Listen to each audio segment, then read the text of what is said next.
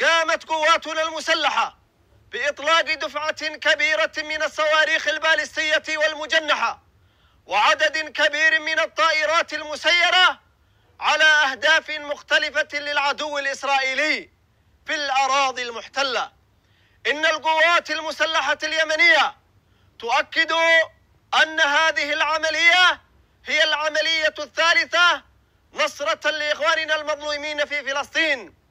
وتؤكد استمرارها في تنفيذ المزيد من الضربات النوعية بالصواريخ والطائرات المسيرة Comme vous l'avez entendu, ce général qui s'appelle Yahya a déclaré pour lui au nom du Yémen une guerre avec Israël. Juste parce que beaucoup de personnes ne comprennent pas la différence, ce n'est pas le Yémen avec le gouvernement officiel, celui qui vient de déclarer cette guerre-là, mais c'est le parti de ce qu'on appelle les Houthis.